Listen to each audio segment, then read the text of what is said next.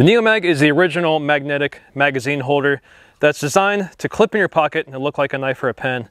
We use black nitride steel construction. Black nitride will make sure that it doesn't rust, it won't wear away.